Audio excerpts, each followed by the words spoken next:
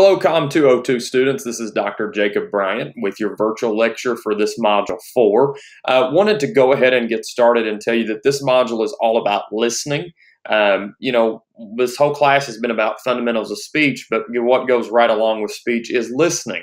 And so that'll be the focus of this module. This module is relatively short uh, in comparison because this topic doesn't get a lot of attention. But what's interesting about the fact that this topic doesn't get a lot of attention in this class is, is that a person spends the majority of their time actually listening more than they do speaking. And, you know, it's scriptural, you know, uh, be quick to listen and slow to speak as well. But it, it's interesting, though, that you think you spend the majority of your time listening, but you're probably better at talking than you are listening. Uh, and so those are some things that we'll talk about in this module as well. Uh, so there's a big difference between actually hearing something versus listening to something. Hearing is just the vibration of the sound waves on your eardrums. This is that kind of, yeah, I know my kids heard me, but I don't know that they listened to me kind of thing uh, that parents often say. Okay. Uh, listening is paying close attention and understanding what we hear. All right. So there's kind of the big difference between hearing and listening. You can you can hear somebody speaking, but are you listening to the words that they're saying? Okay. The next thing is just the different types of listening. There's the appreciative, that's pleasure listening. That might be listening to an audio book in the car. Um, you know, Audible is big. It might be just listening to music. That would be appreciative pleasure listening, things that you find pleasure in. Empathic is supportive listening. This is the kind of listening where you kind of reflect people's feelings. You know, um, I'm really struggling with this problem right now. And then someone might say back to you, I understand that you have this problem going on, blah, blah, blah, blah, blah. Okay, so that empathic listening is that kind of supportive and reflective type of listening. Then there's comprehensive listening to understand. That's what you do during these videos, or what you should be doing is listening to understand the content that's being delivered. That's usually an instructional type of listening. You probably do that in church as well. Uh, and then there's the critical and the evaluative type of listening, and you can do that in this speech, uh, uh in this speech class, and also in church as well. Whenever you're starting to think about what you're listening to. Okay, so you're starting to evaluate the speaker's credibility. Uh, you know, back in in election time, I think about okay, um, that's when you're evaluating the messages that you see and, and judging them for accuracy and that sort of thing. Uh, that would be that kind of critical type of listening, uh, evaluating the words and, and, kind of starting to pass judgment um, of your own. The next thing that you got to think about when listening is your immediacy behaviors. Just like you have want to have good immediacy behaviors when you speak, that eye contact, the body language gestures that you send. Uh, there are things that can show you're interested based on your body language. You know, the the quote that says, you know, it's it's ten percent what is said and ninety percent is body language or tone. Um, and so that this is that piece of body language. All right, you can see the girl here kind of slouched over. Whenever you're uh, hunched over in your seat, you know, it really speaks to um, how much you're listening. And I think about my preacher at church. You know, he knows when the message is hitting me if I'm if I'm more bright eyed and bushy tailed versus if I'm laying back counting down how long it's going to take until I'm getting my Sunday chicken. Okay. Um, and then the other thing is eye contact. You listen with your eyes just as much as you listen with your ears. Okay. Um, and so giving that speaker that good eye contact.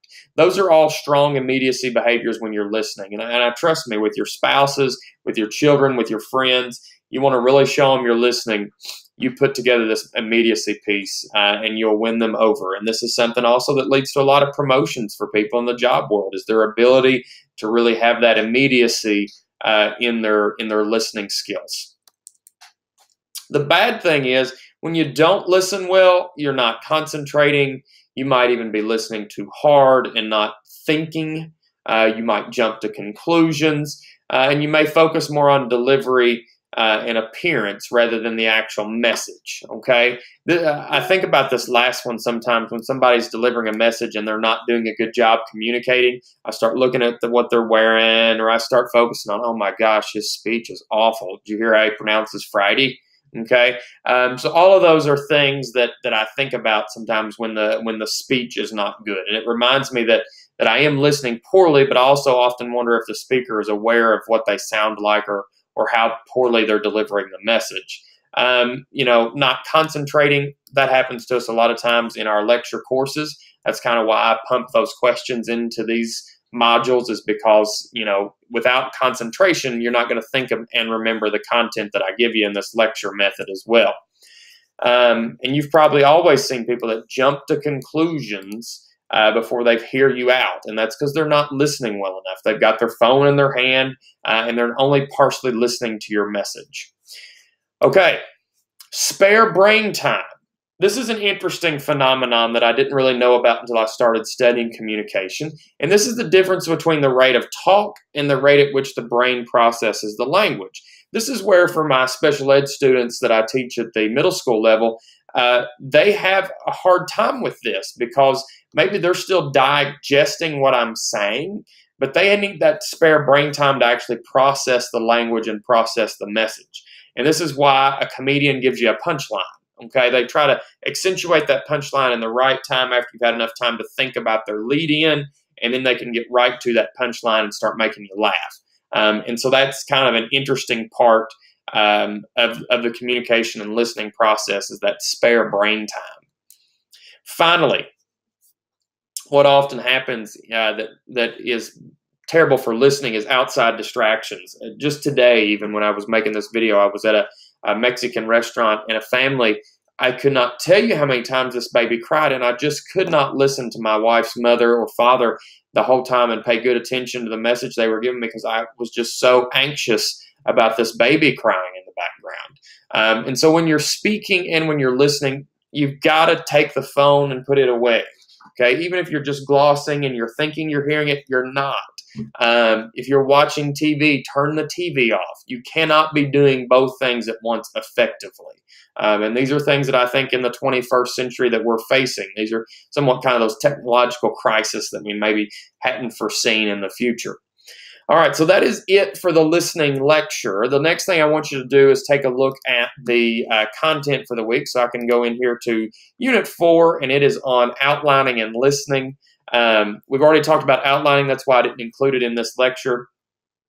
But essentially, um, there are two articles here 10 steps to become a better listener um, and speech preparation number three uh, don't skip the speech outline Okay, so these are good, helpful articles with with you um, as you are are developing and going through the the quiz this week, which is four point one. You know, same thing as always. Three uh, three points per question for a total of thirty points. You can retake it as many times as you want, uh, and it takes your highest possible score. Um, the other thing is this uh, reverse engineer speech outline assignment.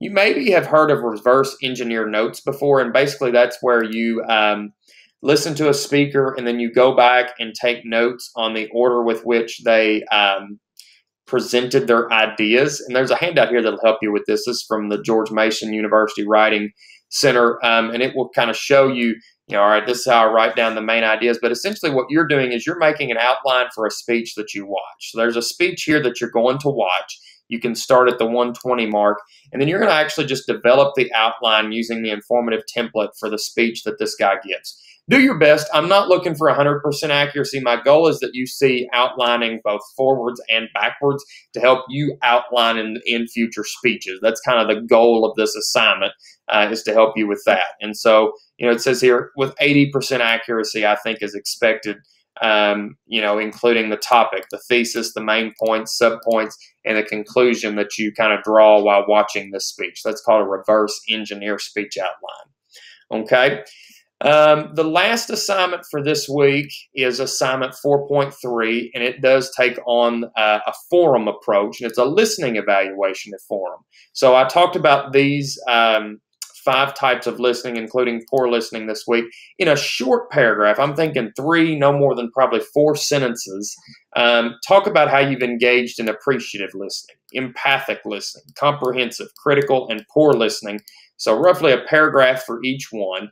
Um, and then you're going to reply to two other students. So the the reflection piece will be due Friday, initial post Friday midnight, you know, right before it turns 12:01 Saturday morning, and then uh, the two replies due to the forum uh, by Sunday midnight, you know, right before it turns 12:01 on uh, Monday morning. Okay, and that's how you get your forum points for the week. So those are the assignments for this particular module. You guys are going to do a great job with those. I hope this has been very reflective of, of your listening skills this week. Uh, God bless you. I'll be continuing to pray for you as you go throughout this course.